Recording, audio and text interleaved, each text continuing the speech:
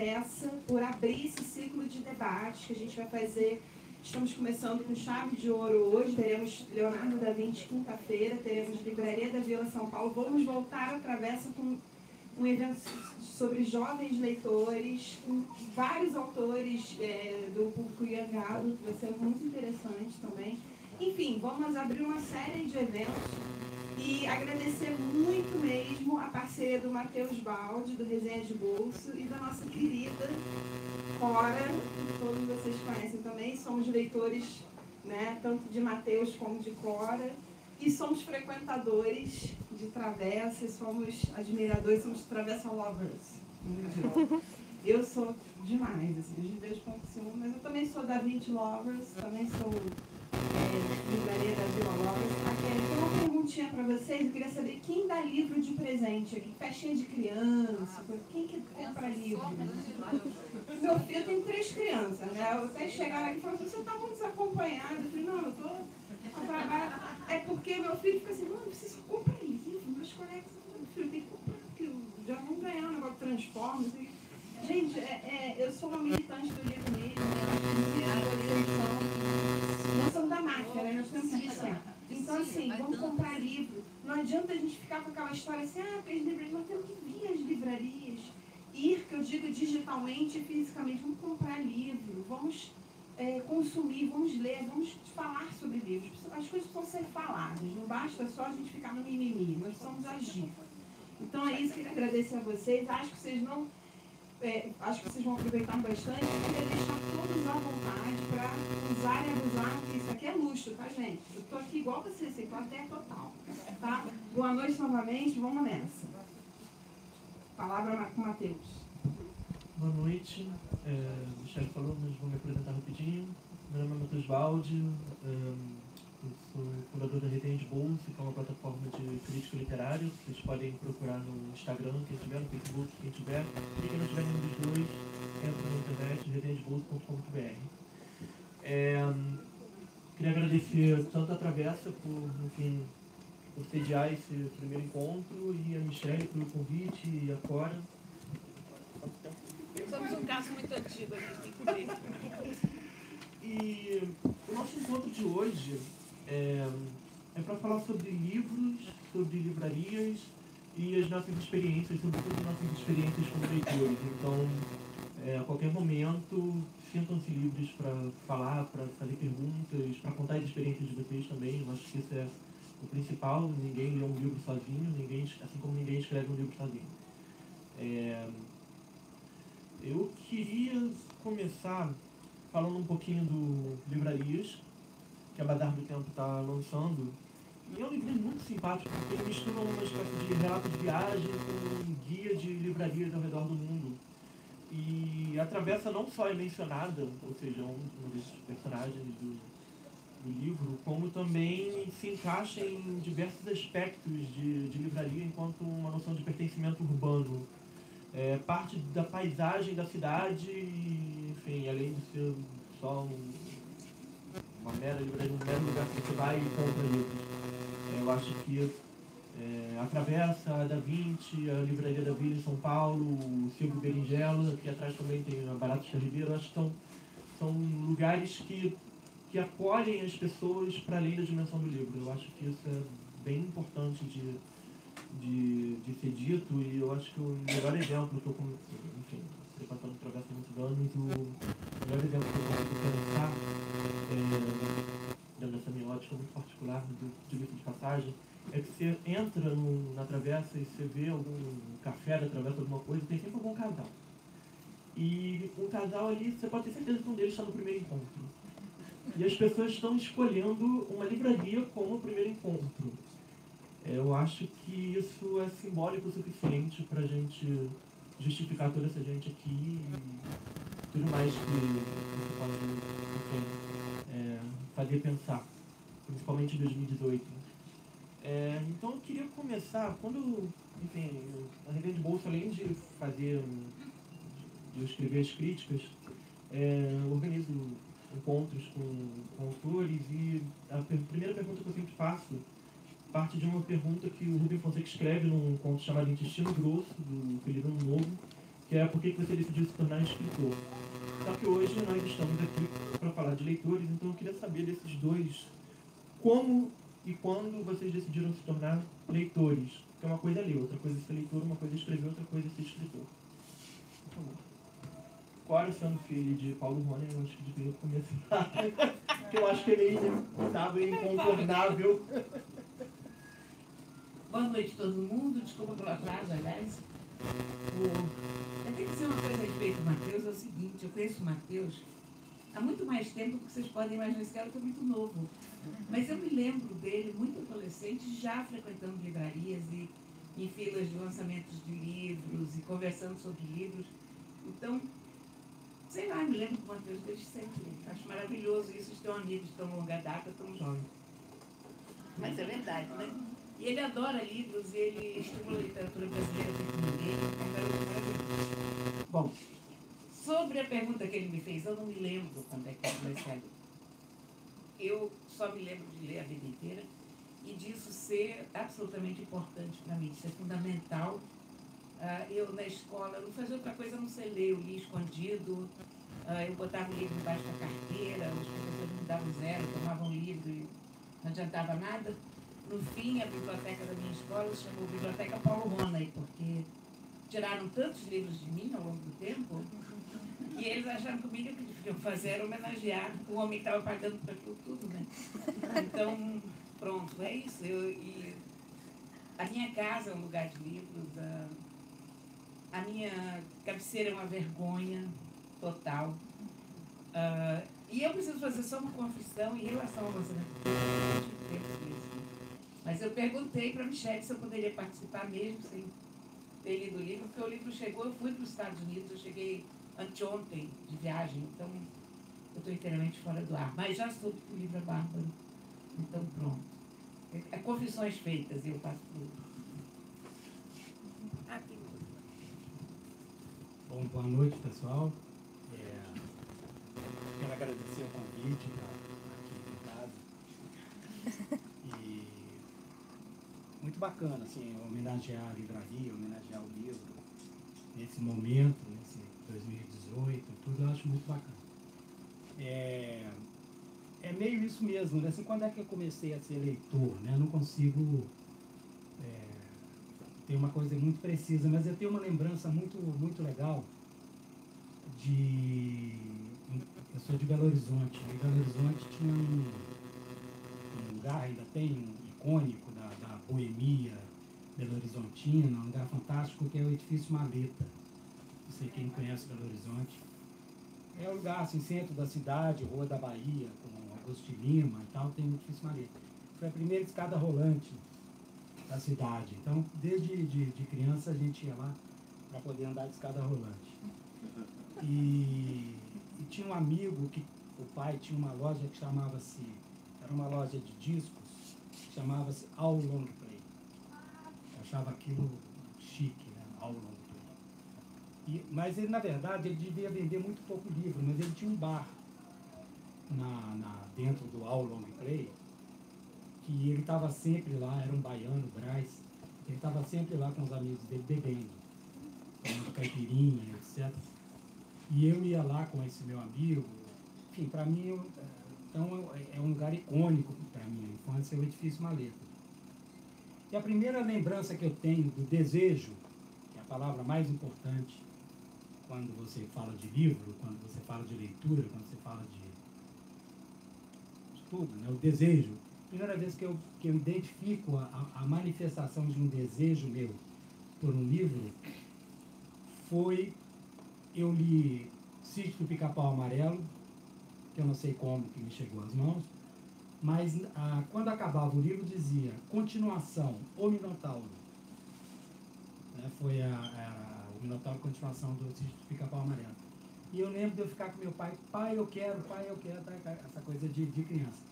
E eu me lembro de ir com meu pai na, no edifício Maleta, e tinha uma livraria, que era muito interessante como é que a coisa se dava, porque você não entrava na livraria nem nada, você chegava no balcão e falava, eu quero, o senhor tem tal livro. Aí o, ele ia lá, pegava o livro, te dava e tal.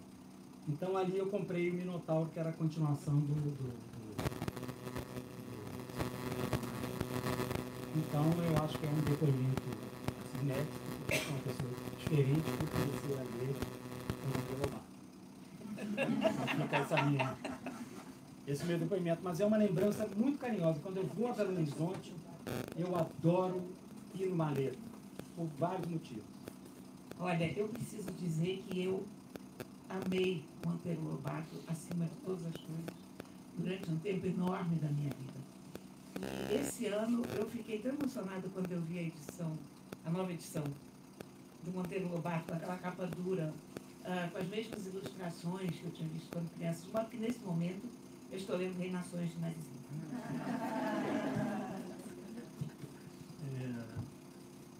É, eu sei que eu perguntei para vocês, mas você falando, enfim, sobre, sobre, Vocês dois falando, eu acabei lembrando de um, de um episódio que, que me aconteceu, devia ter uns oito, nove anos. Eu fui para São Paulo, para o Parque da Mônica, com os meus pais.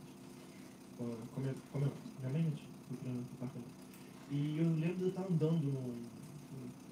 De. Cora falou que me conhece da, das filas de adolescente, mas antes das filas de livraria eu frequentava lojas de DVD, comprando filme adoidado. E na. Eu lembro que eu entrei, acho que uma Saraiva da vida, eu, eu perguntei, vocês vendem DVD aqui? Vocês vendem filme? E a moça falou, não, a gente só vende livro. Eu falei, só vende livro, eu fui embora. Aí, agora eu tô aqui. Uma coisa esquisita, né? E, e, e vira, né? Um mundo gira, né? E, e é uma coisa impressionante. E eu fiquei pensando que desde pequeno também, eu não sei quando, quando que eu comecei. Acho que a gente não. Vocês sabem, alguém aqui, vocês, vocês lembram o momento exato que vocês, vocês começaram a ler? Você não vale. Não vale? Porque. Você lembra? Ela não vale porque eu botei ela pra ler. Eu não lia nada até os 75 anos de idade. Aí eu fui e botei Então ela pra vale. ler e ela lia mais de 100 livros por ano. Então não vale. Boa noite. Eu creio que, que eh, grande parte de nós leitores começamos na escola, né?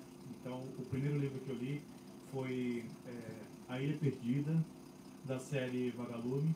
Era, tinha a famosa prova do livro, então, eh, quando o professor falou, vamos ter uma prova do livro, eu vibrei. Acho que eu fui o único da sala, acho, a vibrar. Porque até então eu não tinha. é, é, até então não tinha um livro, é, exceto, é, sem ser didático, né? Esse contando uma história. E eu fui bem na prova, tá? Mas é, a, é a, a memória que eu tenho de começar a ler e a partir dali não parar mais foi a partir da, da Ilha Perdida. E aí a série Vagalume e tantos outros é, sucessos dali é, saí seguindo, lendo todos os outros também, né?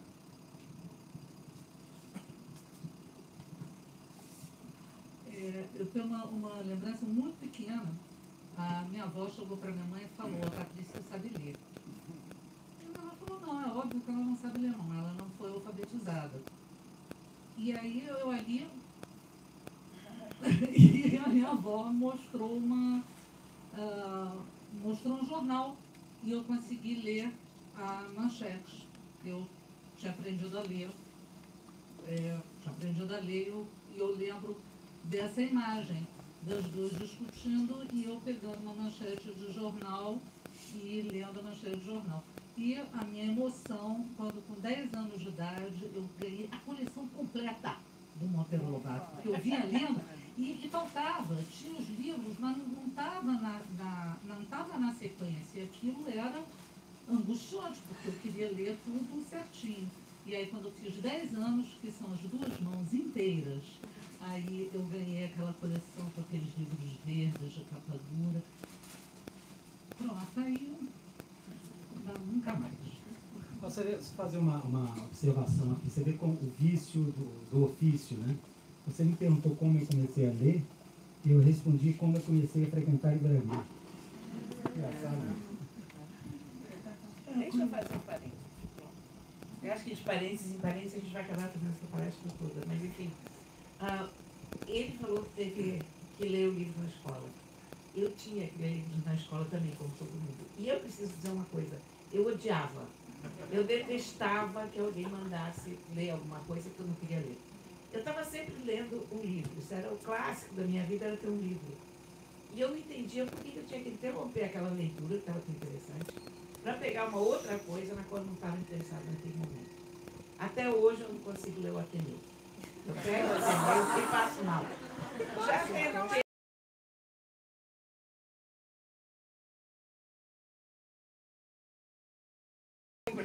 Eu não leio Ateneu. Mas a escola devia lidar com livros de uma forma diferente. Hoje eu já sei que é um pouco melhor. Mas eu acho que o livro não podia ter teste. Eu acho que o livro tinha que ser sempre um jogo, tinha que ser sempre uma coisa muito lúdica, tinha que estar sempre associado a alguma coisa muito boa. E não a uma prova, não a um teste, e não a interrupção da leitura de outros livros sobre tudo isso. Vocês veem que eu me traumatizei tanto que 60 anos depois eu continuo reclamando disso. É, João, João Carlos Marinho foi filho na amo. O gênio do crime, sangue Tipo, fresco, eu- amo. até hoje eu amo. uso a lógica de um crime pra muita coisa. De trás pra frente e seguir. Essa coisa de, de escola me traumatizou no ensino médio.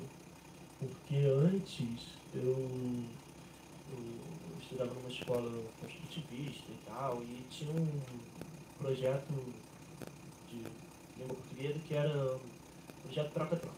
Você tinha que ir na biblioteca e você trazia um livro de casa e os seus coleguinhas também, e aí, enfim, cada um pegava o livro do amigo e trazia um na semana seguinte. É, eu fazia isso toda semana? Não. Mas isso foi formando uma, uma espécie de, de consciência. E eu sinto que as escolas não estão ainda preparadas para. não sabem muito bem como lidar. Na Flip agora tava. rolou meio que, uma, que, que essa, essa conversa é, no intervalo de alguma mesa, porque de um lado estavam, enfim, os escritores contemporâneos que falavam, não, a gente tem que ser lido e todo mundo tem que ser lido e tal, e as escolas insistindo com, com, com os ateneus da vida. E de outro como que vai formar os leitores sem passar por, por sem mostrar a importância disso? Então, não estou tentando dar nenhuma resposta, vocês levam para casa, pensem também, porque é importante.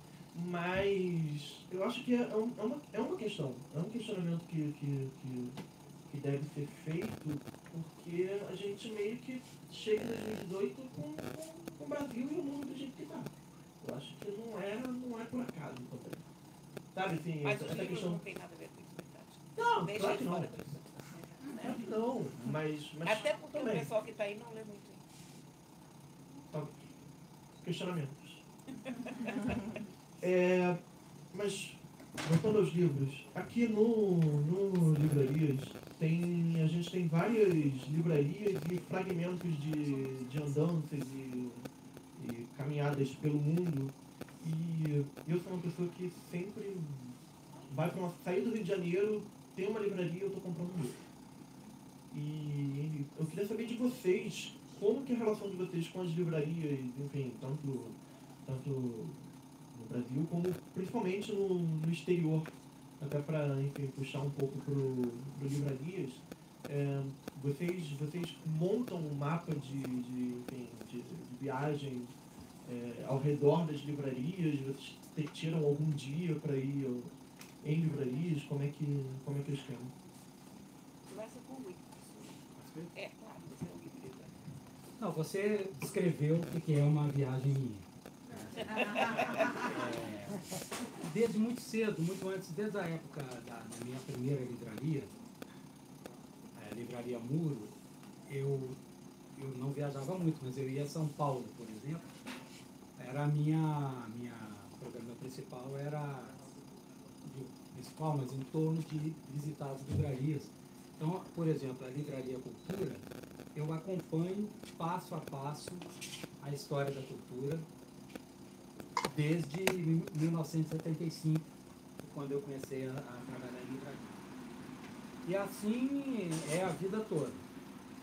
É, é até curioso, por exemplo, nesse livro, é, ele é um livro que me.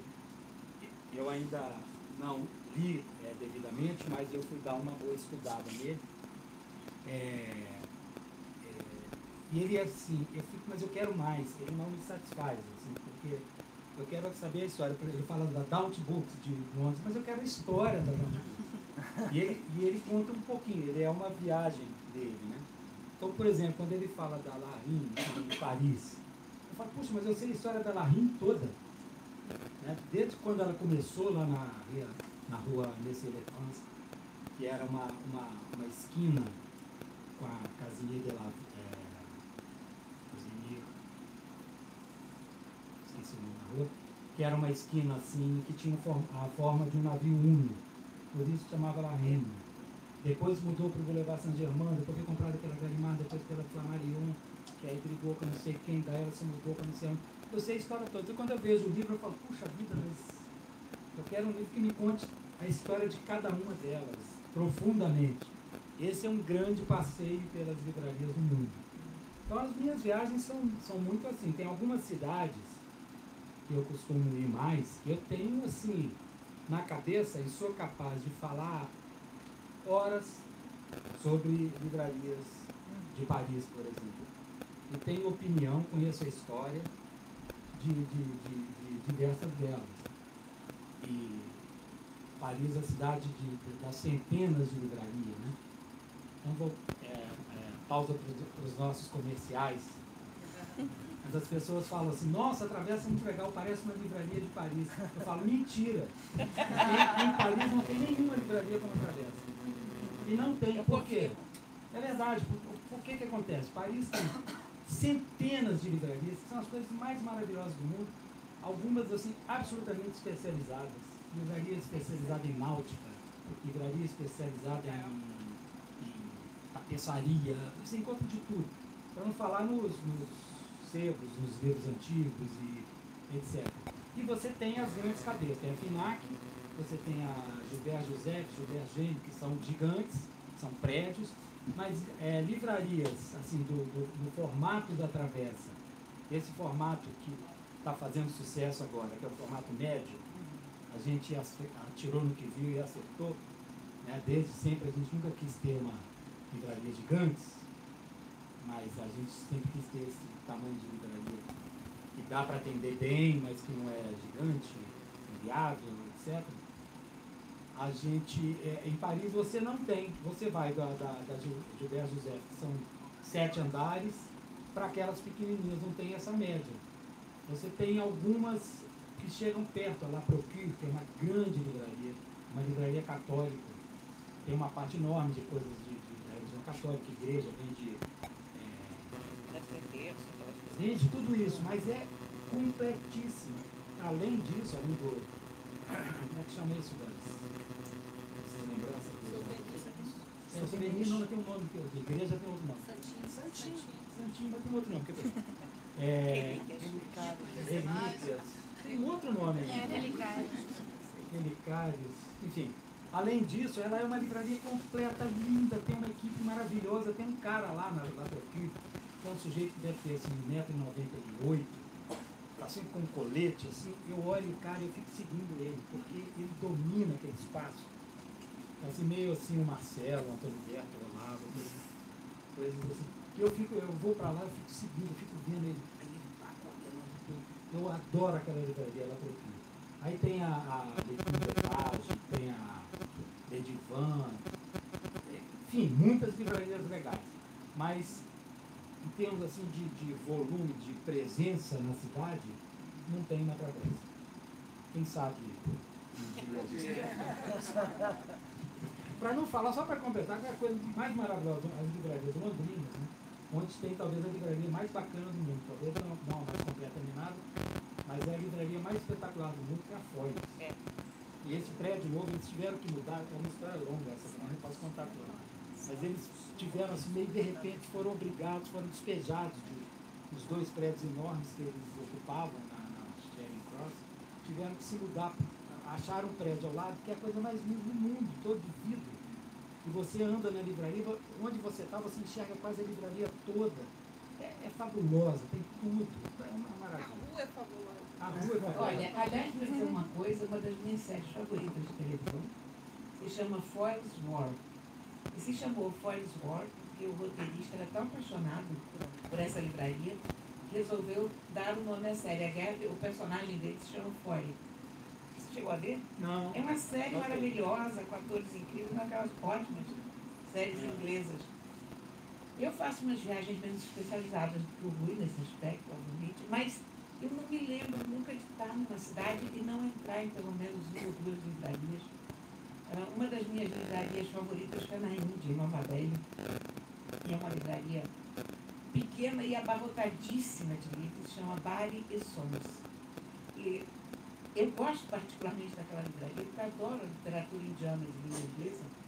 E é muito difícil encontrar em qualquer outro lugar do mundo. Esses livros não circulam fora da Índia, poucos têm edições internacionais. Então, eu chego lá, converso um pouco com qualquer um dos livreiros, eles imediatamente trazem meia dúzia de livros que eles acham que vão ser bons para mim. E são ótimos, em geral eles acertam na mosca. E você chega para eles e pergunta, olha, eu ouvi falar de um livro de um engenheiro que viaja pelo interior e aí encontra um sadhu. Aí diz, não, você quer dizer o mecânico que foi para Bombaim?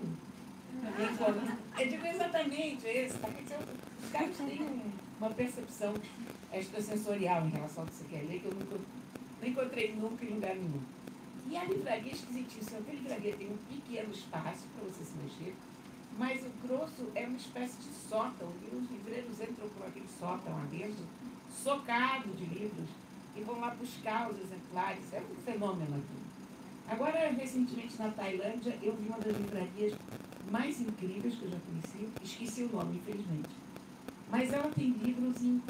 Ela tem uma coleção importantíssima de livros em qualquer língua ocidental. É a livraria dos estrangeiros. Então você encontra uma quantidade de livros em alemão, em francês, em italiano.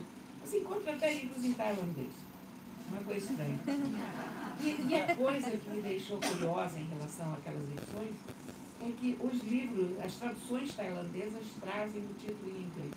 Ou o título original, não é o título em inglês necessariamente. Mas tem o título escrito de uma maneira ocidental, com caracteres ocidentais, título que nós conhecemos, e aí escrito em tailandês e tal.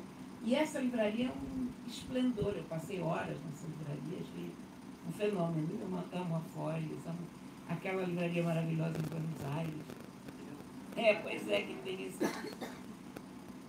Enfim. E Mas vocês, você em algum momento foi, você falou, você falou bastante disso de meio que peregrinar e tal pelo Paris, Londres e No. Egito tem uma ótima, desculpa. na cidade do Cairo tem uma livraria maravilhosa, que é a livraria da Universidade Americana do Cairo. Se alguém for para lá, eu recomendo muito visitar também. Até porque eles são uma pequena editora. Então, eles têm edições extraordinárias de trabalhos, em geral sobre islamismo, sobre o Oriente, sobre o Egito Antigo. E é um espetáculo de uma livraria também. É, eu, eu queria saber, mas vocês tiram, enfim, é, algum, algum dia para peregrinar ou é uma coisa que vê a livraria automaticamente vai entrar ou, tem, ou vocês pesquisam antes de, de, de viajar, se, se na cidade tem, quais são as melhores livrarias? Porque tem gente que pesquisa quais são as melhores restaurantes, eu pesquiso, por exemplo, quais são as melhores livrarias. Sorry, not sorry. Mas, enfim, queria saber se vocês fazem isso também. É, é, com certeza eu pesquiso os dois, tanto restaurante quanto livraria. Mas com certeza é, é, eu já sei de antemão é, assim, o que que, que que vale mais a pena em determinada cidade que eu estou indo, com certeza. A, a Buenos Aires, isso é uma coisa, o tipo de, de, de coisa que, que mexe com a cabeça dos livreiros, né? É uma coisa que mexe muito. Assim, a, a Buenos Aires, a, a Splendid, né? Entendeu? Splendid, que é aquele um teatro que foi transformado em, em- em- em livraria. Ela me deixa louco, aquela livraria, porque eu chego lá, eu fico pensando que eu não gosto da adaptação que fizeram. Eu acho que é um lugar esplêndido, é, é incrível, é fantástico, é maravilhoso. E é uma livraria bacanérrima, mas eu falo, puxa vida, a gente, uma, uma das coisas mais legais de livraria é pensar na arquitetura delas. Né? A, a A gente tem muito isso, essa preocupação, essa coisa com a arquitetura. Eu convivo muitos arquitetos da, da livraria, são nossos sócios, amigos, queridos, são pessoas que eu convivo diariamente. E a gente conversa muito sobre isso, sobre, sobre arquitetura comercial, o que, que funciona, o que, que não funciona, o que, que é bom, o que, que não é, como é que é a iluminação, como é que é o mobiliário. E a, e a Ateneu de Buenos Aires me deixa maluco, eu falo que coisa linda que é essa, esse lugar, mas eu não gosto da adaptação, não sei se você concorda com isso. Né? Pra, é, é, não fica bem falar tal, mas, por exemplo, a, a cultura aqui da, da cidade, da, da, da Senador Dantas, eu também não acho uma boa. Acho uma adaptação ruim. É ruim, é ruim, não funcionou. Eu, é, eu gosto de brincar assim, falo assim, ah, eles fizeram o projeto lá de São Paulo nem, e, e trouxeram e enfiaram lá, não, nem pensaram como é que era o prédio, porque não, não conversa com aquele prédio Arnuvô maravilhoso, que é aquele, aquele Cine Vitória. Né? É. Então não, não é legal. Quando é legal, a gente elogia, acho maravilhoso, espetacular. Mas é, esses casos, por exemplo, tem alguma coisa que me incomoda. O Ateneu eu senti isso, eu fui fazer a primeira vez, eu com uns 15 anos, alguma coisa assim. Eu lembro que eu, fui, porque a gente estava super, super animado para conhecer o Ateneu, e eu cheguei lá, mas é isso, assim, sabe, é, tinha toda a variedade que eu esperava, mas não sei, parecia que encolhia você ali dentro, não, não te dava uma noção de grandeza, não sei. Tem, tem isso, porque a arquitetura é, é importante, não, não basta você entrar no livraria, eu acho, e, e virar e. Ah tá, quero o livro tal, ou então, ah, eu gosto da livraria tal, porque tem, tem, muito, tem muita variedade. Sebos também tem variedade, tem sebos que se comportam como livrarias e sebos que você entra e você tem que ficar procurando na espinha e tem alguma coisa que te, te interessa. lembrei de uma livraria. Me lembrei de uma outra livraria que eu adoro, que se chama Unclean Well Lighted Place for Books, em São Francisco. Foi uma das livrarias que eu mais frequentei ao longo da minha vida, porque eu escrevo sobre tecnologia também.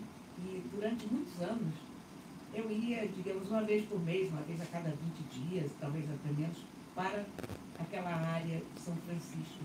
Ali perto ficava o Vale do Silício, fica ainda, né? E essa livraria era uma, eu não sei se ela ainda está lá em São Francisco, é engraçado. Preciso checar. E ela ficava bem perto da casa de um amigo meu, que era onde eu me hospedava. E eu passava tardes e tardes, era uma e era exatamente isso que a livraria era. Um lugar limpo e bem iluminado para livros. É uma das livrarias queridas do meu coração. Eu também preciso contar sobre uma livraria que eu não conheci, foi a livraria do meu avô. O meu avô era livreiro, em Budapeste.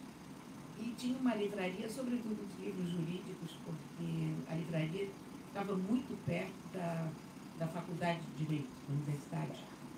Então, esses eram. Quer dizer, os fregueses principais eram os estudantes de Direito. Mas o meu pai me conta das coisas maravilhosas que havia na livraria, que era uma livraria que tinha papelaria também. Então, naquela época, você tinha cromos e você tinha carnês de baile, olha. Isso era o supra-sumo da coisa sofisticada. Quando as moças iam para os bailes, elas levavam carnês muito lindos e que elas anotavam para quem que elas tinham prometido a próxima dança. E o meu avô tinha centenas de tipos de carnês de baile nessa livraria, que não, não sobrou nem foto dessa livraria. Mas é uma livraria que me acompanha a vida inteira. É uma livraria borgiana. É, exatamente, exatamente isso.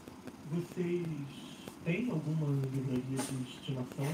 Assim, pode, pode estar sabendo, pode ter um outro.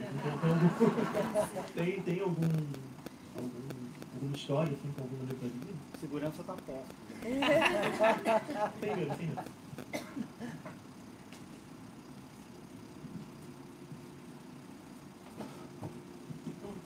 É, eu lembro, na verdade, eu lia os livros que recomendavam no colégio, mas eu lembro a primeira vez que eu escolhi o livro, me perguntaram qual livro que eu queria comprar.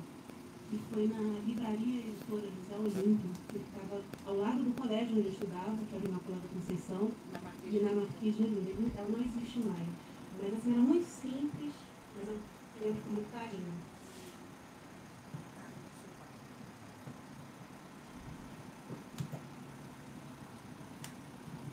Olha, o Matheus antes do que você, bem antes. Isso aí frequentou a minha casa o tempo em que, em que eu tinha que botar para dormir todo mundo e tal, que ele era amigo da minha filha. É assim.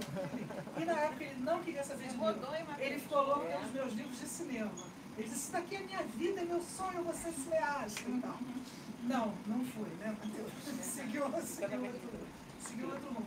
Mas sobre, é, sobre esse negócio de colégio e tal, eu sou uma leitora meio atípica, mas talvez muito típica aqui, porque todo mundo aqui é leitor. Mas sou meio atípica dentro do meio em que eu sempre convivi, no meio escolar e até no meu meio profissional, que eu sou jornalista. É, jornalista não leio tanto assim, não. Jornalista lê jornal, lê notícia. Mas Quando lê, literatura... né? Hã? Quando lê, né? Quando lê, quando lê. É, e é, eu só conhecia duas famílias que não tinham televisão quando eu era criança. A minha e a do seu pai. Né?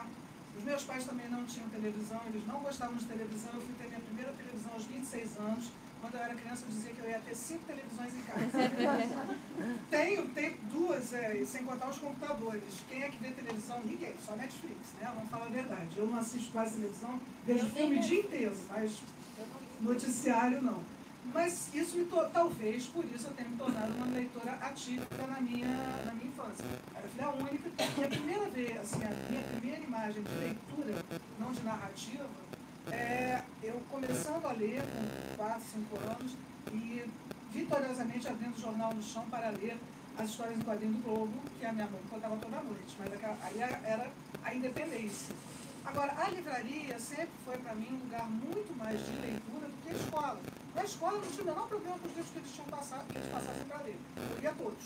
E no segundo grau, quando a gente começou a estudar, estudei em colégio católico, literatura brasileira e portuguesa, é, cada turma, cada grupo tinha que ler um livro. Eu lia todos, aquela chata, né, a Hermione, assim, lia todos, falava sobre todos, deixava a professora constrangida, porque eu era assim, apaixonada por cabelo e cachorro branco.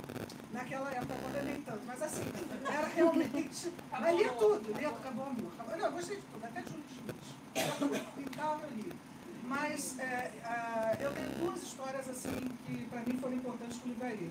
Uma foi quando eu tinha uns 12 anos, mais ou menos, tinha uma livraria embaixo da minha casa, já acabou, já foi tudo, acho que agora é uma sorveteria, é, na Visconde Pirajá, onde eu morava, no início da Visconde Pirajá.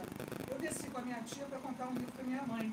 Ela queria dar de presente, quem sabia o que a minha mãe queria ler era eu. Então lá fui eu fui comprar até um livro do. Não sei se era do Vargas Llosa ou se era do Gabo, enfim.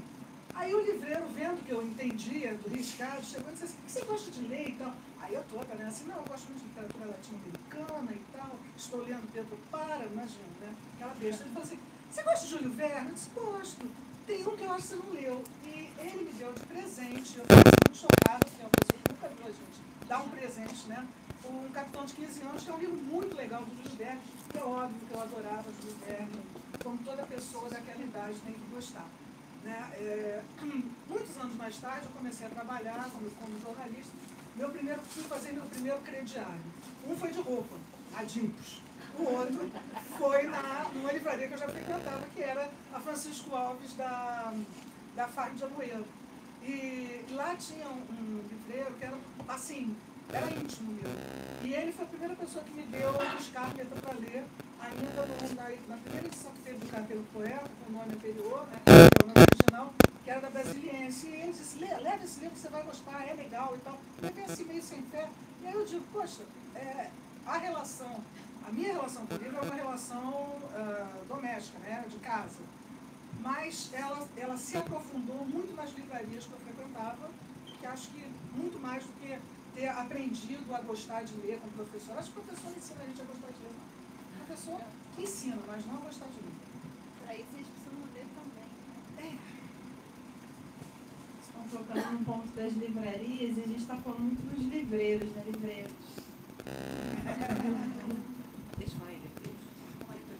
Já que a gente está falando de livreiros, né? Eu tenho uma dívida para a vida inteira de gratidão com a dona Wanda Piratini, da Leonardo da Vinci. Eu não tinha dinheiro nenhum. Eu não tinha um centavo. E eu encomendava os livros mais extravagantes. E a dona Wanda mandava aqueles livros para mim. Ela dizia, você não vai ter dinheiro para pagar isso. Aí eu dizia, não. É. E ela me deixava ler os livros desde que eu não quebrasse a espinha do livro. Então eu aprendi a ler sem sem machucar nada do livro. Eu, uma vez pedi, estava empolgadíssima com Van Gogh, com a correspondência de Van Gogh, saiu na França a íntegra da correspondência entre Theo e Vincent Van Gogh. E eu pedi esse livro para ela, que era muito, muito caro, eram três volumes, era uma coisa extraordinária. E disse, mais um livro que você não vai ler. Aí eu digo, mas é, quem sabe, eu vou, eu vou, não vai ler, não vai pagar. Não, mas pode ser, quem sabe. Bom, eu li aquele livro todo. E claro que não tive dinheiro para pagar. Mas aí, muito pouco tempo, sei lá, talvez há seis anos, sete, quando eu também ainda estava na, na livraria e tal. E uma vez eu estava de olho num, num livro de discursos do século XX, ou discursos de Churchill, alguma coisa assim. Perguntei para ela, a senhora tem esse livro por acaso? Ela me disse, olha, eu tenho, mas tem um garoto que está lendo, então está escondido aí pela livraria, não vamos achar enquanto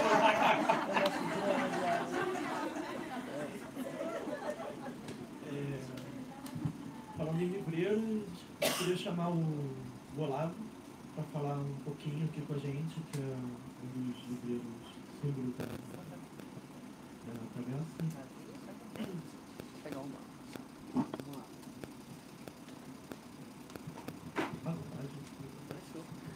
Boa noite. Vou pegar uma fala aqui da Cora Rony, linda, que é o seguinte, ela podia muito bem ter citado a lombada do livro. Ela falou, usou o termo espinha. O livro é uma coisa tão viva e presente na vida da gente, que a impressão que a gente tem que não é apenas um objeto de desejo, né? Na verdade, tem esse acolhimento. E a gente se refere ao livro com esse carinho, né? Como se fosse mesmo ser vivo. Né? É, eu tenho 22 anos de Rio de Janeiro, estou no meu lado Bichomisque. É, 18 dos quais aqui na Livraria da Travessa. Ali está um dos meus mestres, o Marcelão. né? Faço praticamente maioridade. Então, me considero com muito orgulho um travesso, vidigalense, por ser morador do Morro do Vidigal. Né? E falar um pouquinho da minha trajetória aqui com o livro. Ah, do meu bem-querer com, com esse objeto. Vamos poetizar aqui. Somos todos traças, né? devoramos livros de poesia, nos deleitamos com poemas eróticos, né? comemos pelas beiradas, né? livros de antropologia, né?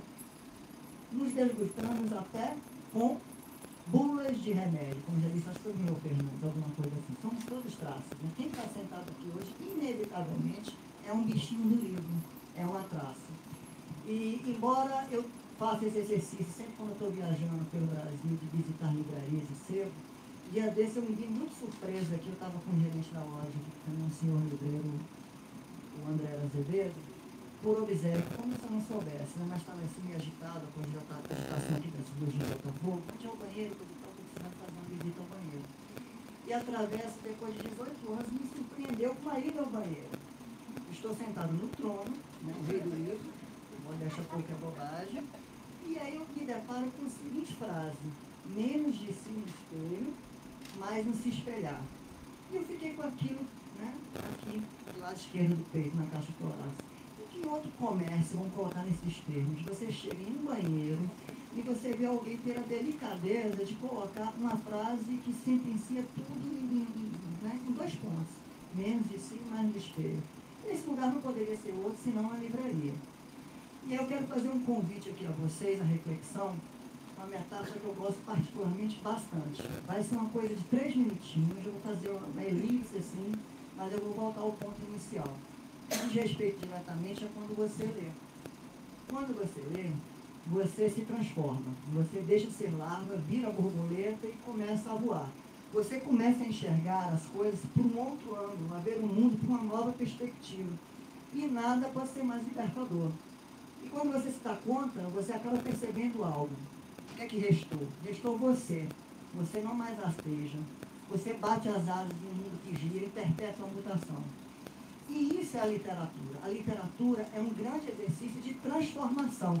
A literatura é, sobretudo, um exercício de liberdade. E literatura, no meu entender, também tem a ver com sonhar. Né? E a gente está vivendo tempos muito conturbados, Brasil, mundo, coisa e tal. Mas quando eu digo que é literatura também sonhar, todos nós precisamos voltar a sonhar. Precisamos voltar a sonhar com o nosso trabalho, com melhores condições em outras profissões né, que precisam ser melhor remuneradas. Precisamos voltar a sonhar, na verdade, com ruas, com nossas ruas mais seguras, com um país mais justo. Precisamos voltar a sonhar com o endereço cativo no coração do outro. Todos precisamos voltar a sermos sonhados.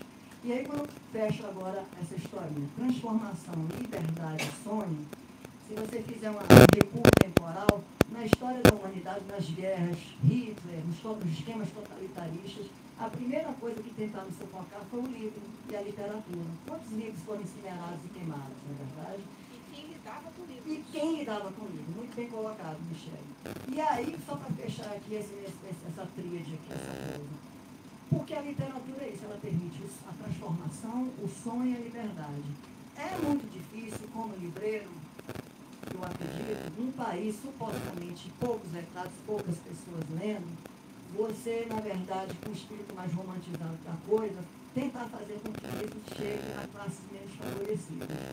Mas eu considero uma honra e um privilégio fazer parte. Não estou bajulando ninguém aqui, não. É porque a gente tem prazer mesmo, uma cachaça boa. Fazer parte dessa, dessa equipe. Posso sotaque só pela ponta. E, e, e acho que o grande barato da profissão é você diariamente, com clientes, né, com colegas de trabalho, você trocar as experiências no sentido de conhecer algo, você está conhecendo algo novo, né? Eventualmente sair na, na, na Cora Ronai, é, lá na Travessa do Legon, onde eu trabalho, as pessoas sempre comentando. Às vezes a gente recebe uma enxurrada de livros muito grande e não tem oportunidade de ter esse olhar mais apurado. É tanta coisa recebendo que para separar o joio do trigo a gente acaba tendo esse auxílio valioso dos colegas. Né? Então eu sou muito grato. A casa aqui é uma, uma não estou plagiando, é também uma casa do saber da travessa, né? A gente troca ideias, é um trabalho de formiguinha, o tempo inteiro a gente está antenas, tá trocando ideia, coisa e tal. E acho que é um pouco isso, né? Agora, vem cá, conta pra gente como é que o povo chega. Moço, me dá aquela querida da capa amarela? Olha, fizemos a brincadeira aí, fizemos a brincadeira aí, são uns três, quatro anos atrás, de tanta gente receber essa informação lá no Leblon, né, de capa amarela, capa azul, capa preta, coisa e tal. Vamos fazer um mês colorido. Tem um, um móvel redondo em todas as travessas que a gente chama de queijo, uma coisa bem apetitosa. Né? O queijo é aquele móvel redondo que a gente coloca os livrinhos arrumados. Os queijos costumam ser temáticos. E aí, quando a gente receber esse tipo de pergunta, né, a gente fez o seguinte, para cada semana a gente né, brincou, um mês, uma, uma semana uma cor, uma semana do azul, do amarelo, do vermelho, coisa e tal. E era hilário, muito gostoso, a forma que as pessoas acolhiam isso. Você tem um tipo de capa azul? Sim, com certeza. Vamos amarelo, a semana do amarelo, coisa e tal. E isso rendeu tanto pano da tramanga, né? Porque os clientes, né? Nossa, eu sempre tive noção disso, mas não sabia que era tanto, né? Pois é, é isso. Acho que é isso, né? Eu, eu posso falar uma coisa, não sei se o pessoal vai ficar chateado, mas eu vou ser sincero. Livreiro é um, é, é um, é um problema. É um problema. É uma coisa, eles são cheios de opinião. Você tenta enquadrar os caras, os caras não se enquadram. Ficam dando ideia, ficam cheios de coisa. É uma dificuldade, eu, às vezes, pensando próxima encadernação, que o livreiro tem encadernação, próxima encadernação eu vou ter uma loja da alguma coisa. Porque como é, que, é, é, uma, é um problema esse negócio de. É uma gente difícil, uma gente difícil. O pessoal do, do RH até que funciona aqui, assim, sofrem com essa Uma coisa horrível, se recusam a usar uniforme. É uma, é uma coisa horrorosa. Agora eu vou contar para vocês um caso recente que está aí pulsante, muito engraçado. Você imagina que um desses abusados, desses livreiros da livraria, lá na loja da Barra, pegou o livro do Bolsonaro e botou do lado do livro do Hitler. Ah, foi de lá que Olha, olha, olha.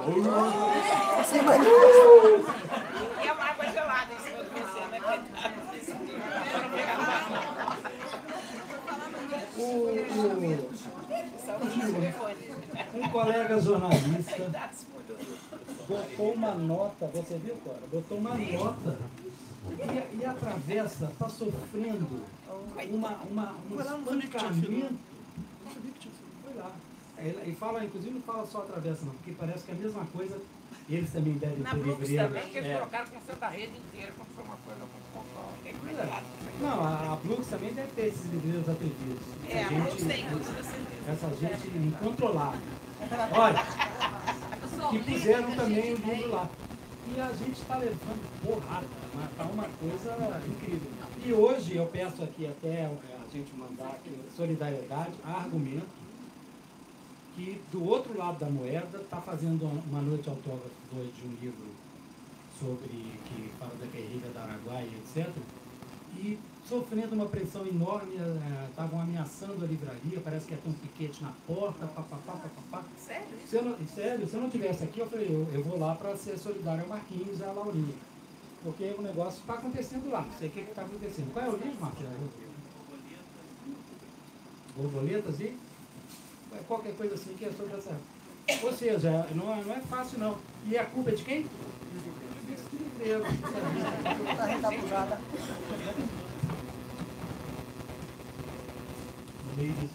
Eu estava prevendo esse acidente. sabe? Você falou que Eu queria o estava copo. prevendo, Porque, porque nós temos um filho, nós temos um copo. Com o microfone na ponta, você puxa esse microfone para falar, isso tinha que acontecer. Era bastante previsível. Não foi exatamente É inesperado. previsível, menos para quem sofre com previsibilidade. Exatamente. É, eu queria aproveitar o gancho e, enfim, já que estamos nessa interação linda, maravilhosa, eu queria que cada um de vocês dissesse um livro favorito, enfim, que vocês leram recentemente. Saia daqui, vamos comprar um livro. Esse livro. Eu quero que cada um de vocês, começando pela Cora, diga um livro. Vão pensando aí. Olha, eu vou então fazer uma proposta surpreendente. Eu vou falar da Bíblia. Eu sou ateia. Mas há uma nova edição da Bíblia interessantíssima, uma tradução da Companhia das Letras. É, sendo interessantíssima. O, o, é, exatamente. Uma escola em português. E o, o livro está maravilhoso. E, aliás, eu acho que a Bíblia é um grande livro para se ler, sempre. Porque não é uma coisa que você consiga ler direto, do, do começo ao fim, você lê, volta, são histórias. Acho um grande livro. E é o primeiro livro, e é a Bíblia, né, o livro. Então, acho que, assim, como, é, como recomendação, a gente não pode errar. Eu vou indicar a minha Bíblia, pessoal. É, assim, a gente não combinou isso, mas é, enfim, tem algumas pessoas aqui com alguns amigos próximos que sabem refiro a esse livro como minha Bíblia, que é o 2666 do Roberto Bolano. Ah, lindo. É, O roteiro do vez que. Bolanho no livro, hein? Quê? Fazendo propaganda. Hum? Parênteses, né? Juntando os parênteses. No livro tem um roteiro espetacular das livrarias do Bolanho. Ah, sim, verdade, verdade. E quem é Bolanho lá E esse livro é para mim minha Bíblia. São cinco romances dentro de um livro inacabado, mas não incompleto. E, morreu antes de conseguir completar as 500 páginas que faltavam, mas dá para ler do início ao fim perfeitamente. é Maravilhoso. 2666. É, não tem nada de satanista, não, apesar de ser minha Bíblia. O- eu acabei ontem, estava comentando com o Breno, a Karen Blackwell, é isso o dela? Que é o Café Existencialista. Espetacular. Ah, é muito espetacular. Espetacular. Eu passei Muito três bom. dias totalmente em inglês. Fim de semana não fiz outra coisa, totalmente. Agora, me, me- é, só para ter uma ideia do que, que é o livro, eu fiquei muito assim pensando, é, pensando assim, meu Deus, por que, que eu não li esse livro há 30 anos atrás? Porque para mim, para o livreiro, teria sido tão legal. Eu até fiquei é, é, resmungando isso, meu filho falou assim, pô, ainda bem que você está lendo agora. né? Ele foi bem positivo, ele. E, Antes eu tarde falei, "Ah, do que nunca." Antes tarde do que nunca, porque foi tão bom para ter uma ideia de todos esses autores no mundo da filosofia, das ciências humanas do pensamento do- do- dos, anos 40, 50. É, e foi, foi maravilhoso. Eu pensando, por que, que eu não li antes? Como eu teria sido um livreiro melhor se eu tivesse lido esse livro antes? E é delicioso, não tem nada de. não é nenhuma tarefa, é uma delícia. Deixa eu só fazer um parênteses antes de vocês continuarem, só um. Eu sei, gente, eu interrompo tudo o tempo todo. é uma coisa- é- Cuidado com os copos. Não, já que a gente está falando em livrarias e tal, e, e livrinhos deliciosos de ler, só lembrar para vocês aquele livrinho delicioso que é a é a caderneta vermelha ou caderneta? Caderneta genial. É maravilhoso. É- e é um, um livreiro que encontra uma bolsa em cima de uma lata de lixo porque a mulher teve a bolsa roubada e o ladrão largou lá e ele começa a tentar encontrar a dona da bolsa. Então, é a melhor comédia romântica dos últimos tempos. Não é cinema porque o livro eu considero mais. Ah, não sei, a gente não pode dizer que uma coisa é melhor que a outra, mas é melhor da gente ler do que de acompanhar. E, e você vê um filmezinho, é uma história, você sabe o que vai acontecer quando você começa a ler, mas quando acontece você fica numa felicidade. Pronto. Vamos ver. François Lohan. Já sabe, Lohan, isso Saiu, Alfaguara aqui. Eu vou indicar um livro, que é um livro, eu, eu gosto muito de literatura, de ficção, mas vou indicar um livro de não ficção, que é tão bem escrito que parece um livro de ficção, como se fosse um livro de literatura com L maiúsculo, que é o Geografia da Pele, publicado pela editora Record.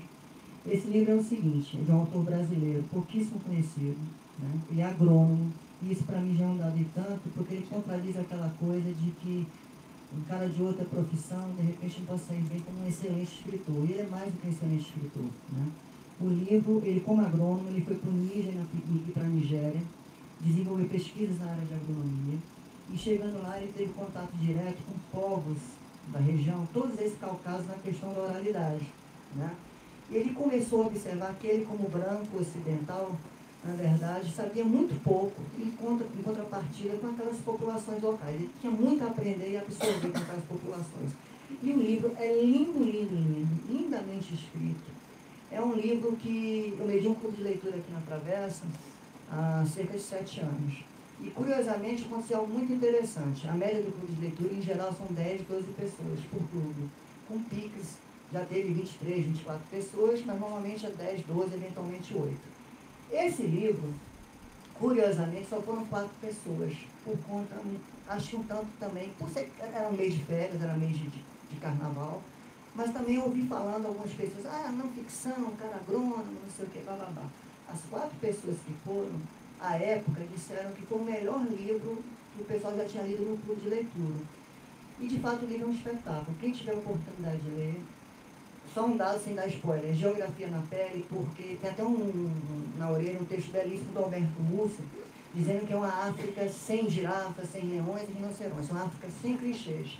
E o Geografia na Pele porque a África literalmente marcou ao autor na pele, né? na alma. É um livro lindo. Vai passando, quem quiser falar, quem não quiser, estiver tímido, lá no profundo.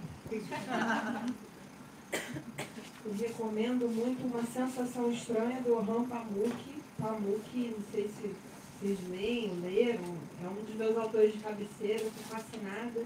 Quem curte Istambul, essa região toda, grandes personagens, livros de folha, vale a pena.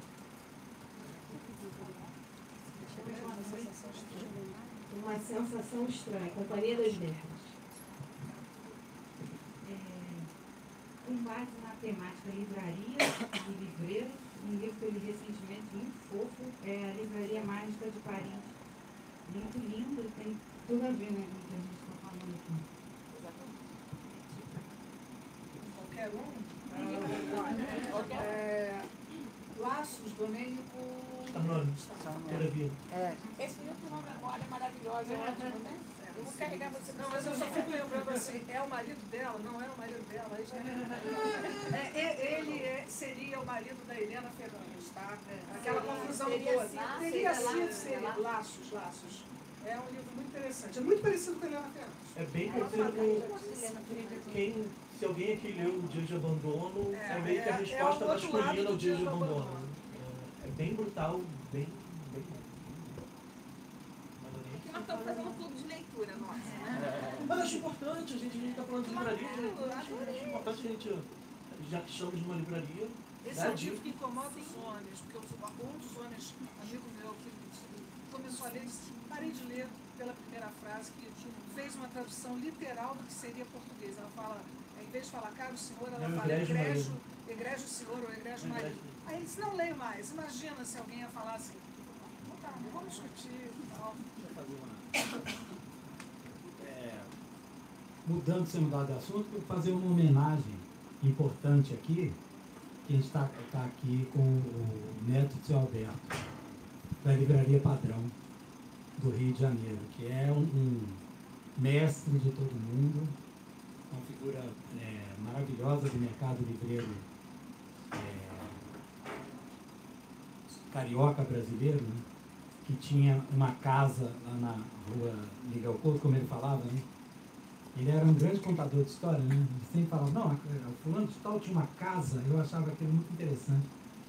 Aquela forma de, de Que se referiu ao comércio. se referir ao comércio de livro, uma casa, é, seu Alberto, grande figura. Grande figura. E uma homenagem ao seu Alberto. Eu, eu, eu- eu gosto muito de contar para o André uma história que uma vez eu fui pro. Teve uma. O Brasil era o país homenageado na, em Paris, no Salão do Livro, etc. E eu fui, e o seu Alberto, fomos convidados, etc. E a gente estava no mesmo hotel. E eu tinha que ir para uma recepção na, na embaixada e tinha que ter gravata, botar gravata. E o seu Alberto, ele, além de tudo, ele me emocionava porque ele parece, ele fisicamente parecia meu pai. Né? Aquele carequinha, aquele, bigodinho grisalho, aquela figura. Então eu me emocionava com isso. Aí eu estava lá, o que eu faço com essa gravata? Aí ele estava no quarto em cima. Eu liguei para o quarto dele e disse, Alberto, eu, eu não consigo dar um nó na gravata. Ele falou, ah, vem aqui. Aí foi uma coisa incrível, porque eu lá, e o senhor Alberto dando nó da minha gravata, e meus olhos encheram lágrimas de emoção. É um momento incrível esse. Aquela grande figura. Quero recomendar mais dois. Os meus amigos livreiros me matam, porque às vezes eu resolvo recomendar um livro que foi publicado em 1957, está fora de mercado. Aí, quando você faz isso, você recomenda esse livro, as pessoas que me livro comprar, não tem mais. Porém, ah, há um livro do qual eu gostei muito, muito. É um livro maravilhoso. E a minha mãe me pede recomendações também, ela tem um Kindle e está adorando ler o Kindle, e no outro dia eu dei para ela o Orientalista, do Tom Hanks. É um dos melhores livros que eu li em todos os tempos. Bom, então, quando eu recomendo um livro para minha mãe, eu já começo a pensar no seguinte, que ela lê rápido. E eu sei que quando acaba aquele livro, ela quer outro, e ela, mamãe não tem coragem de explorar o Kindle por ela mesma. Ela quer que eu ponha os livros, porque tecnologia ela desconfia, não gosta, tudo bem, tá bom. Então eu procurei um outro livro do Tom Reis e descobri que ele tinha um outro livro que eu não havia lido ainda. Então, li esse livro e é maravilhoso também, então recomendo muito para vocês. Se chama O Conde Negro. É, é uma, o, o Tom Reis tem esse hábito de descobrir personagens melhores na vida real do que personagens de ficção. O orientalista fala de um camarada chamado Lev Nussenbaum, que ficou famosíssimo como Kurban Said, escreveu alguns livros e era um. E ninguém sabia, era um personagem misterioso, era um judeu que se passava por árabe, uma coisa. É alucinante a história dele, é realmente fora do comum. E o Conde Negro era o avô de Alexandre de Matos. Era um homem negro, um herói das guerras napoleônicas. E o Reis pega esse camarada e começa a descobrir tudo a respeito do personagem esquecido da história francesa. E esse livro é maravilhoso, você lê realmente como uma ficção, com a diferença que a ficção não seria tão louca de inventar uma história tão interessante. Pronto, então fica a indicação. É uma edição da Companhia das Letras, eu não sei de quando, então é recente. eu não, não tinha como não recomendar. O livro tem uns dois anos. tá? É. Mas agora então vou fazer uma pergunta que eu não sei, ninguém vai conseguir responder. O, o- mundo do livro tem esses mistérios, né? Assim, a gente falou aqui de várias questões de livraria, etc. Tem coisas que movem o mundo do livro que não tem muita explicação. Uma delas é o seguinte, você tem muitos jornalistas que falam sobre livros, etc, etc. Por que diabos a Cora é a indicadora de leitura que ela é? Né? Porque é, é, é, a gente sabe disso, assim, sai a coluna da Cora, é um Deus nos acuda na livraria, ligando para a editora. Mas vocês não podem entregar hoje, a gente só tem 30. E a Cora falou, é uma loucura. A coluna Agora tem mesa, tem o dom, e a, É, por é, conta é disso o a gente fez orgulho da a minha vida. Dicas da Cora. Porque ela tem o dom da indicação. Agora, não dá para detectar por que, que é, onde é que está esse borogodó. Mas é incrível, né? É incrível. Ela fala, você lê, você fala, caramba, puxa, mas ela está indicando seis, como é que vai dar tempo? mas é assim, a, o público reage de uma forma incrível. Mas você acha que é sinceridade, Porque sabe? teve uma importância Sim. muito grande. É Dalma. É. Essa livraria ela tem uma importância muito grande para o público universitário. Foi a Brasiliense, em São Paulo. Eu frequentei lá no Barão em Capitininga nos anos 80. Por que, que ela foi tão importante? Porque a cultura universitária, naquela época, era um- uma cultura de livros nas próprias línguas, a maior parte dos livros em espanhol, ou francês, ou inglês. E as teses eram consideradas muito difíceis, praticamente não tinha público as teses serem publicadas. E a Brasiliense fez, então, uma espécie de um investimento no acesso a uma cultura universitária facilitada ao público, com aquela coleção dos Verpassos e outras que vieram a seguir. E aquilo foi um tremendo sucesso. E aquela livraria realmente era você descobrir o mundo, digamos assim, técnico-científico, fora das poucas traduções que nós tínhamos. Então, eu acho que aquela livraria fez uma grande história, não só por ter sido também uma iniciativa de um grande intelectual brasileiro, mas também de ter permitido esse acesso. Acho que aquela livraria, ela formou uma geração, livraria editora, né? E livraria, ela formou uma geração. É, a Os gente está. editores da Brasiliense fundaram a Companhia das Letras também, né? Que a gente citou aqui um dia. O Schwartz era editor do. Sim, Marinho. É, a gente está falando de um trio, é, enfim, chegou mais gente desde o início e como a gente já está chegando perto do, do final aqui do encontro, eu queria só, enfim, dar mais um pouquinho de dica, já que eu estava tentando dar um pouquinho, mas é, e são livros que estão resenhados na, na resenha de bolso. Então, para quem chegou, é, resenha de bolso, tanto no, no Facebook, no Instagram, ou se não tiver em rede social, redesbolso.com.br. É, queria indicar alguns livros, mas livros escritos por mulheres brasileiras contemporâneas que, na minha humilde opinião, a melhor livraria é a melhor, a melhor literatura que está sendo, está sendo feita atualmente. É, Tudo Pode Ser Roubado, da Giovanna Madalosso, saiu pela Todavia, também o melhor livro do ano até agora. Desculpa. É, é, como se estivéssemos em Palimpsesto de Putas, da Elvira Vinha, para mim um dos livros da década, só pela companhia. É, falando aqui, só para. Um, um da Inês Cabral, filho do João. ó, Ah, é lindo aquele livro. o último, como se estivéssemos em Palimpsesto de Putas. É É, título fácil. é, você, tá chega na, na livraria, Elvira, pergunta o livro, o último livro da Elvira. Não é o último, não, é o penúltimo, cuidado. Acabou de sair. Não, esse é de 1990. Eu fiz a crítica do Estadão, vai sair agora do livro. Aliás, um Merchan também. É, não, mas esse é de 90 e todos os editores recusaram na época, e agora que ela. Pois é, mas é tá. Mas o último inédito da, da Elvira foi o. Deixa eu recomendar dois. Ele resolveu falar em mulheres escritoras brasileiras. Há uma, uma jovem escritora brasileira que eu absolutamente adoro, chama-se Marta Batalha.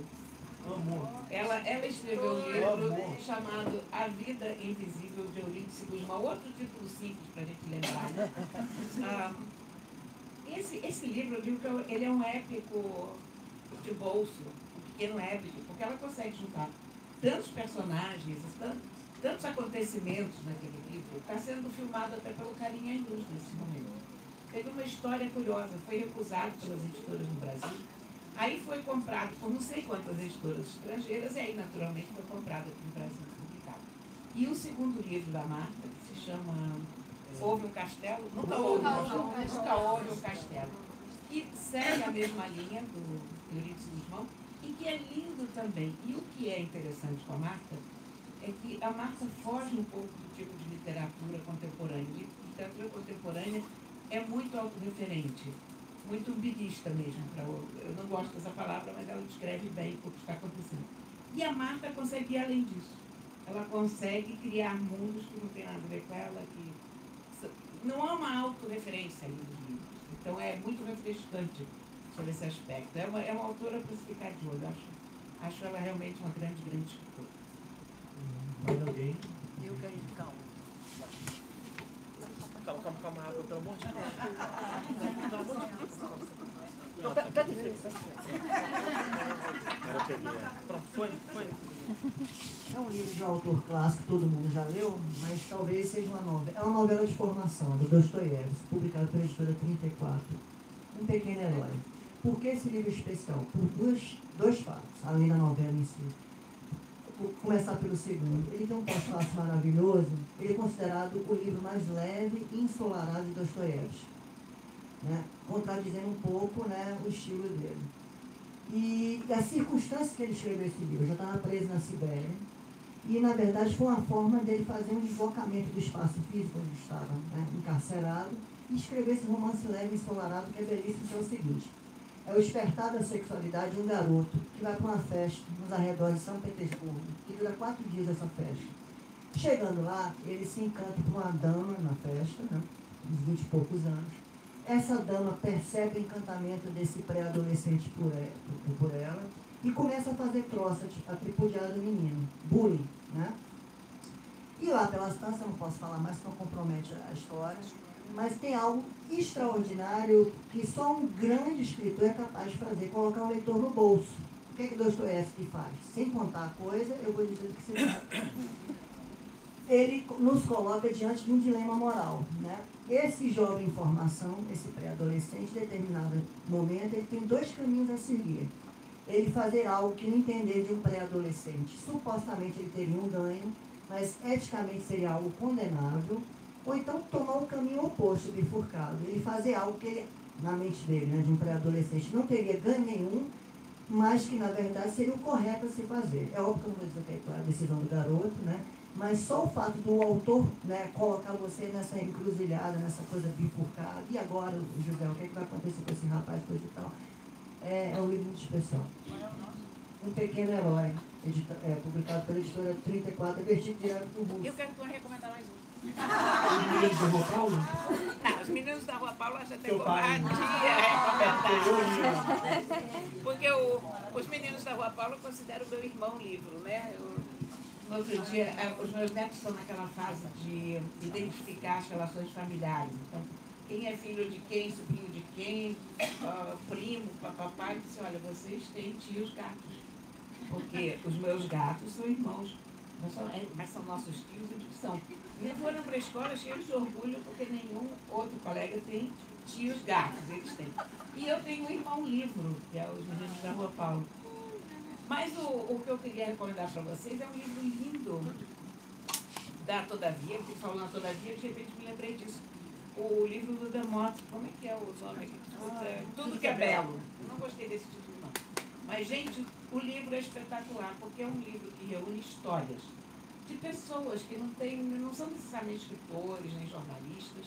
Por exemplo, o conto que eu mais gostei, a história que eu mais gostei nesse livro, foi contada por um engenheiro nuclear e diz respeito àquele acidente em Fukushima, no Japão. Ele sempre ia ao restaurante de uma mulher que faz uma galinha assada, e ele, anos depois, ele tenta descobrir o que aconteceu com essa senhora. São histórias reais. Então, é realmente um dos livros bonitos que eu li ultimamente. Eu li Catadores de Contos. Qual? Catadores de Contos. Catadores de Contos. Você lembra da editora ou... Da Bertrand.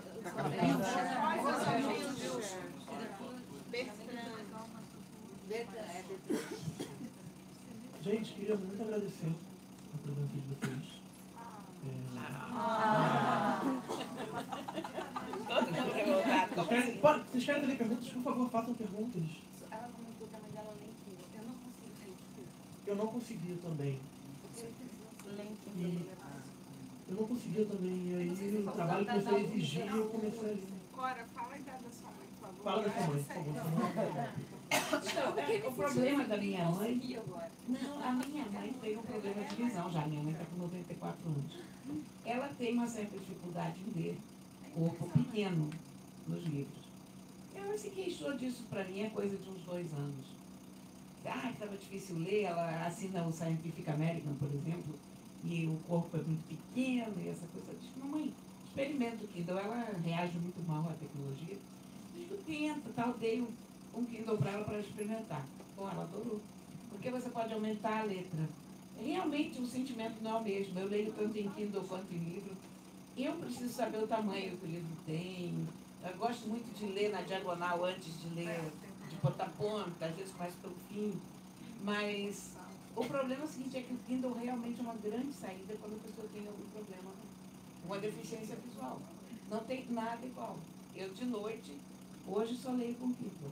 Porque quando eu deito para ler, às vezes acabo ficando com a vista cansada também, e está lá o Kindle. Às vezes eu leio o livro ao mesmo tempo no Kindle e em papel. É, me diz uma coisa, você acha que tem alguma diferença? Eu tô lendo, leio direto gosto de ler inglês, manter a acabo lendo, me sinto uma traidora, muito, assim, me sinto muito mal. Fico assim com uma. Fico até com uma vergonhinha, sabe?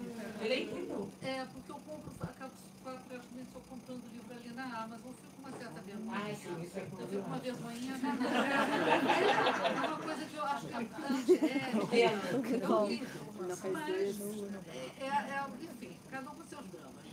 Mas eu fico com a sensação de que eu guardo menos o livro na minha memória quando eu leio no Kindle do que quando eu leio um livro físico. Se eu vou pegar uma leitura um pouco mais densa, e ou que não seja ficção, não sei o quê, aí eu não consigo, eu tenho que pegar o livro físico, porque senão eu não consigo Mas ler. isso é claro, Alguém tem essa experiência? Claro, claro. Eu consigo ler objetivo, por coisa que objetivo no Kindle e no material. E quando você pega um livro em papel, você tem um objeto real.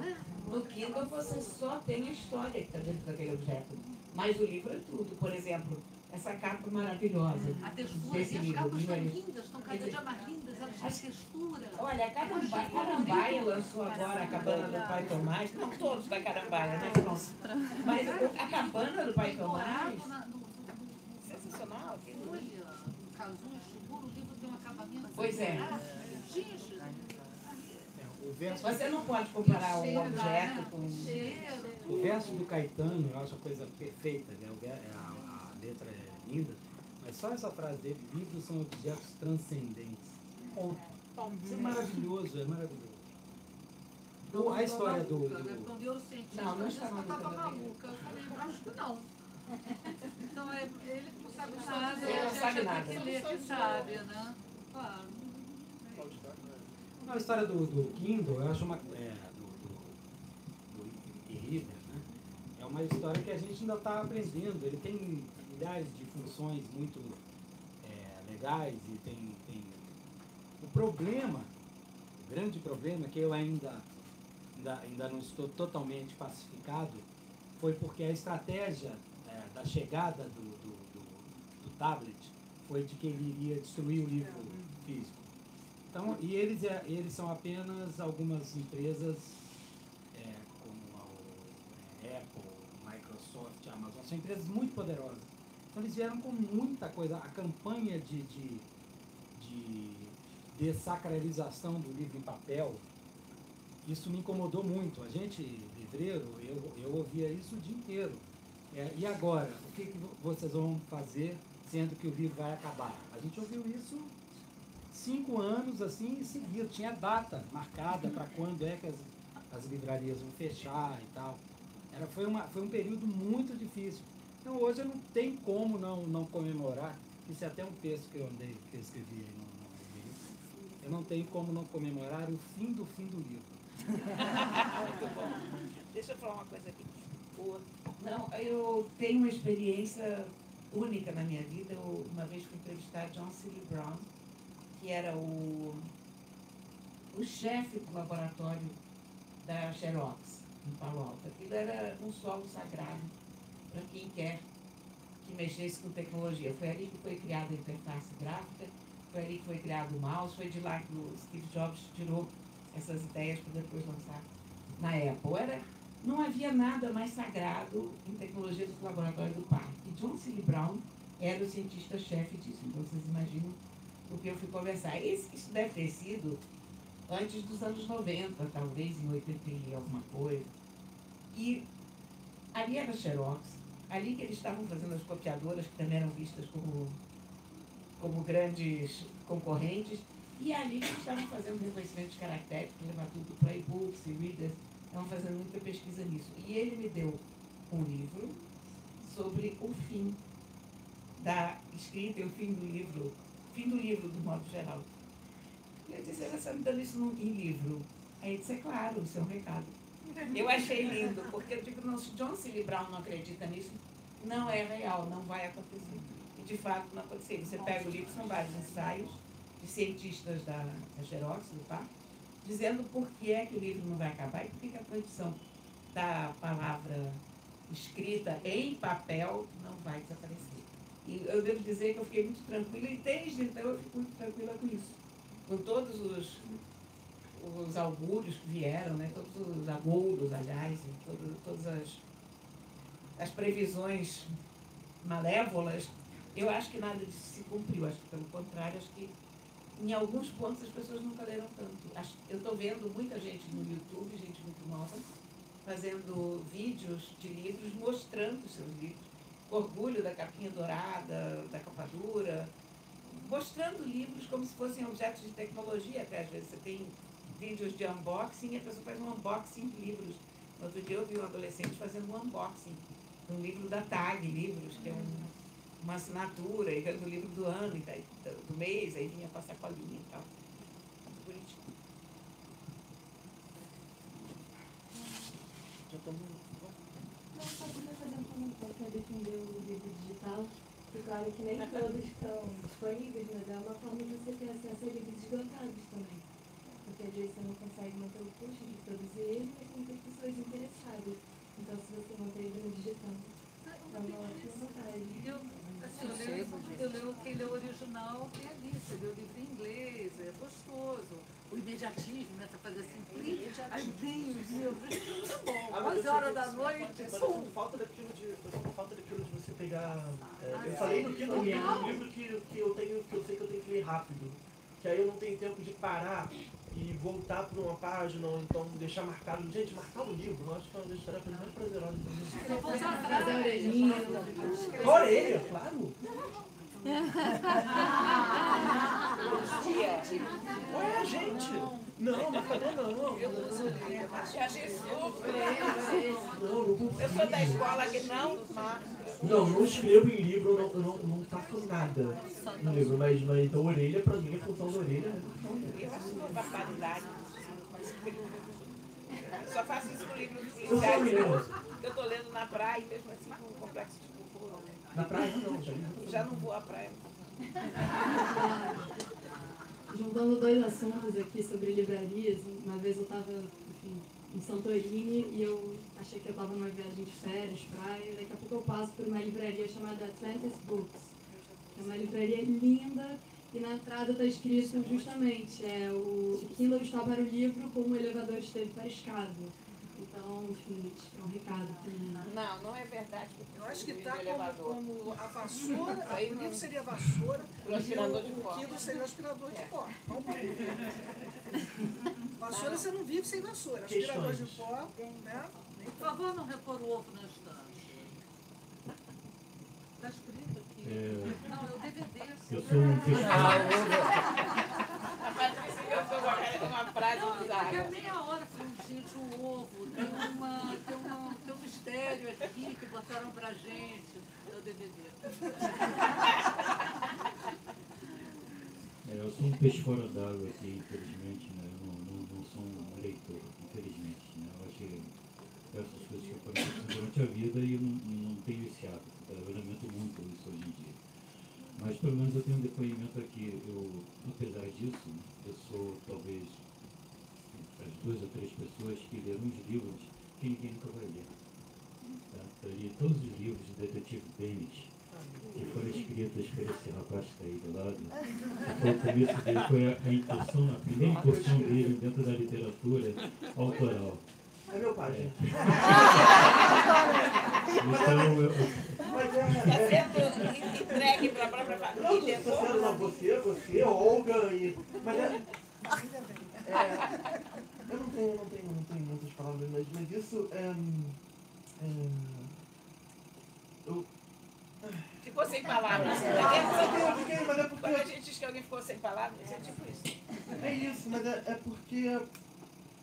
é, puxando na memória, assim, eu tô. eu tô, assim, quando, quando a Michelle me convidou, eu, eu aceitei de primeira, achei a proposta ótima. Mas eu pensei, gente, mas como é que, como é que vai ser? Como é que. E aí eu lembrei aqui, vendo vocês, enfim, tá super, super no card aí, acho que cada um deu um depoimento, eu queria dar um pequenininho. Um.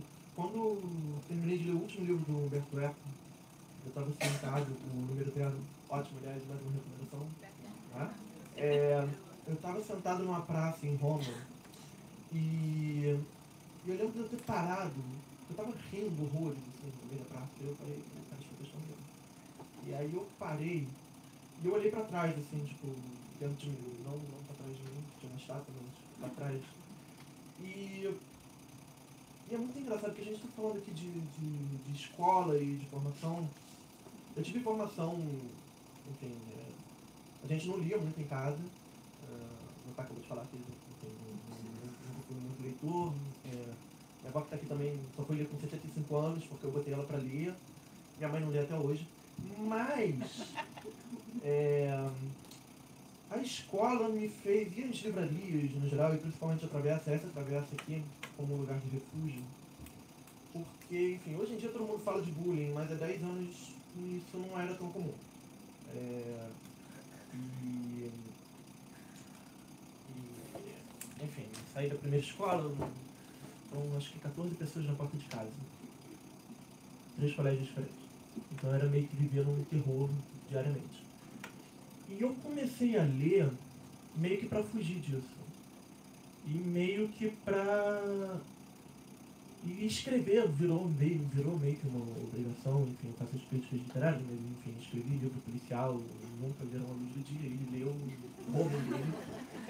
Mas virou uma espécie de, de fuga, e eu acho que foi isso que a gente falou aqui, eu acho que literatura tira gente, como, como o Olavo falou. É, eu estou me formando agora em jornalismo e eu tive aula com o Dapiev. E o Dapiev sempre vira no começo do semestre e ele, e ele falou, dá uma definição de arte que eu acho que. de arte, enfim, literatura, que eu acho que é muito pertinente. E eu comecei a roubar para mim essa definição também. Ele cita o Odair José. Ele fala, arte é tudo aquilo que te tira do lugar. Sabe aquela música eu vou tirar você desse lugar? É, eu acho que é isso. Eu acho que é tanto, enfim, para você conhecer a geografia da pele e você ir, mesmo que sejam quatro pessoas no clube de leitura, mesmo que sejamos nós aqui, o que eu, eu, gente, eu sou de humano, a gente tem? Umas 30 pessoas aqui, mais até.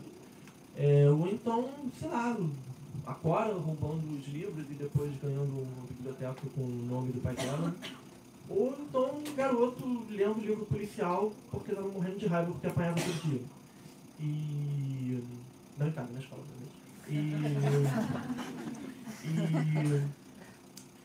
Eu não sei, eu acho que eu queria deixar essa mensagem assim de. Enfim, é, eu sei que os tempos são difíceis, eu sei que tá todo mundo falando, ah, mas a crise do mercado do livro e tal.